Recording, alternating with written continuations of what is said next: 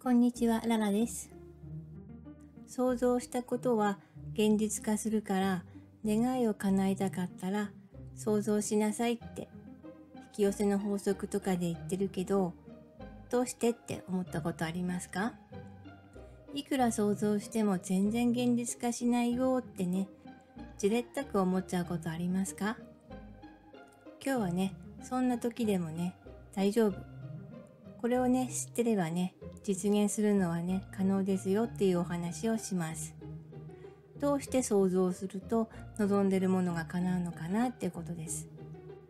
それがね、ちゃんとね、ストンってね、腑に落ちるとね、スムーズにね、願望が叶えられるようになります。そう、疑いの気持ちとかがあるとね、やっぱりね、引き寄せにくいですよね。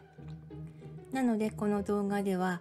どうしてイメージすると実現するのかっていうことについて、脳科学の面からと宇宙の法則から、ね、両方からお話しします。ああ、そうか、そうだったんだって。胸にね、使えてたものがね、落ちますよ。そう、心から納得できたら、イメージした願いがね、すんなりね、叶えられていくと思います。じゃあね、早速ね、どうしてイメージしたことが現実となるのか。まずは脳科学のね、観点からね。脳科学の方でもね、想像したこと、イメージしたことは実現するっていうね、研究があります。私は何々だっていうようにね、強くね、イメージすると、その通りのね、自分を脳はね、作り上げていくっていう傾向があるそうです。そうなんです。自分にはできる。自分はそうなってる。自分は可能だってね、そう思い込むことでね、パフォーマンスがね、上がるんです。これはね、カラーバス効果っていうのもね、関係してるみたいで、うん、カラーバス効果っていうのは、あるね、特定のことをこう意識することで、それに関するね、情報がね、自分の手元にね、たくさんね、集まるようになる現象のことです。例えばね、自分は経営者になるってね、決めて強くね、思い込んでいることで、経営者になるための情報にね、自然と目が行くようになったり、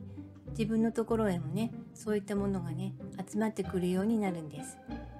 逆にね、自分には無理だ、やっぱり自信がない、能力がないとできないかなってね、そう思い込んじゃってたら、なかなか行動をね、起こせなかったりね、行動したとしても疑いながらだったりするので、チャンスにつながる情報がね、目の前に来てもね、見逃しちゃったりするんですって。そう、自分はね、理想を手にする人物ってね、そういうふうに確信してるからこそね、目標やね、夢が実現するんです。ではね、次にね、宇宙の法則からね、想像したことは実現するっていうお話ですけど、うん、なぜね、強くイメージしたものが現実化するかっていうと、それはね、イメージできたことはすでに別の世界で、うん、実はね、ちゃんとね、作り上げているんです。そう、自分がイメージできたことはね、もうすでにね、あるんです。バシャールがこう言ってます。バシャールっていうのはね、宇宙の集合意識体のことです。そう、そのバシャールが言うには、どんな人生でも自分がイメージできるものは全て並行するあなたの人生として存在している。だから自分が慣れない存在を頭でイメージすることはできないんですって。そう、私たちがね、想像できるということはね、どこかにね、必ずね、何らかの形でね、存在しているって言ってます。そう、今同時に全てね、存在しているんだそうですよ。だからね、理想の世界に行くっていうことは可能なんです。じゃあね、どうやってその理想のね、自分が望む現実の世界にね、行くことができるのかっていうと、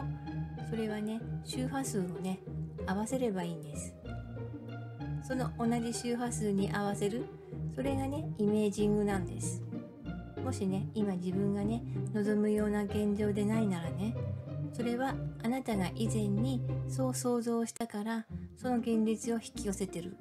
っていうことは、あなたがイメージしたものの引き寄せには成功してるっていう、そういうことなんです。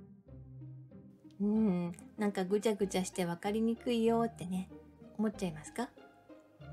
じゃあね、とにかくこれだけしっかりね心にね据えてもらえばいいかなって思うのは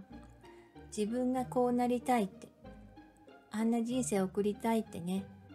想像できてるならそれは実現可能だってことです。だってねすでに別の世界ではそういう自分がいるんです。なのでその自分に合わせていけばいいだけなのでやることは波動を分けて周波数を合わせていけばいいんです。そうこのことが分かったらよし今から想像力高めていこうってね前よりもねなんか張り切りたくなっちゃいますよね。だってねすでに願いは叶ってるってねそう思ったらね嬉しいですよね。あとはピューってそっちに行くだけなんですもんね。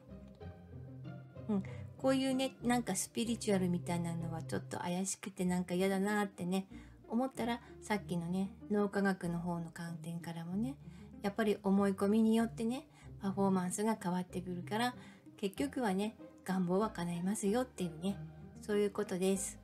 そう。あなたが想像したことは実現するってね宇宙も科学も口を揃えてね言ってます。楽しくなったしなんか心強いですよね。はい。そう大丈夫。あなたのね願いは叶います。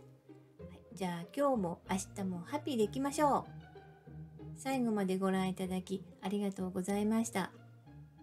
またね。